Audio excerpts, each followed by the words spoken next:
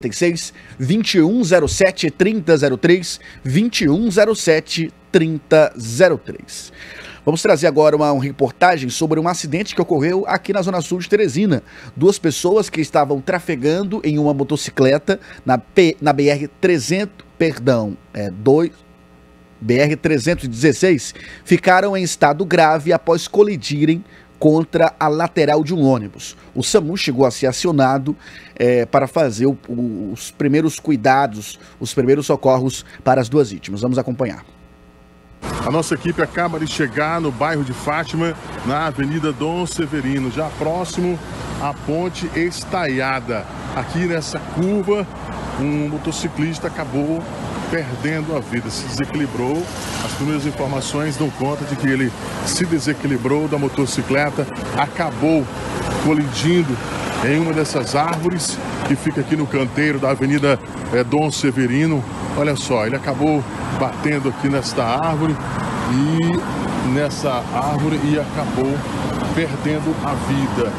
Já um pano verde, já a área completamente isolada como estamos vendo aqui, policiais militares do 5 Batalhão foram acionados. Ao chegar aqui, constataram o óbito. Mesmo assim, acionaram o SAMU é, e também o pessoal do trânsito, policiais militares do trânsito. Chegaram aqui, realmente já, já estão é, tomando de conta do caso. Como podemos ver aqui, o rapaz acabou perdendo a vida. Os familiares já foram informados a respeito da situação, o capacete dele aqui.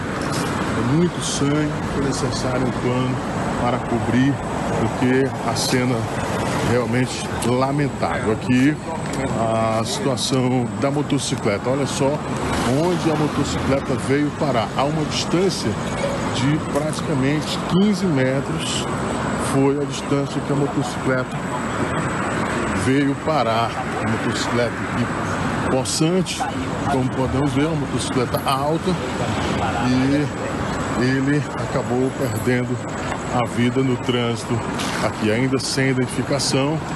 A perícia é, está sendo aguardada aqui no local, portanto, olha só, Q Y1 2B73. A, a placa dessa motocicleta. Quais as informações que os senhores têm a respeito desse acidente? Já tem a identificação dessa vítima? Sim, tem a identificação dele. O senhor Gustavo, né? Elas Gustavo. São, Gustavo, não. Elas são um acidente, mas que indica que ele se perdeu aí na, na curva, né? Formação de terceiro, né? E ele acabou vindo a óbito no local. Bom, é, quando os senhores chegaram é, que observaram é, o corpo, estava tudo intacto.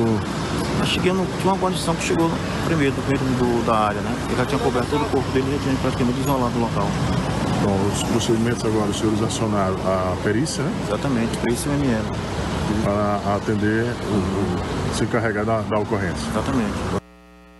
Acompanhamos essa reportagem, um acidente, você deve ter percebido, eu chamei uma, uma, uma, matéria sobre um outro acidente que ocorreu na Zona Sul, mas nós acompanhamos essa reportagem.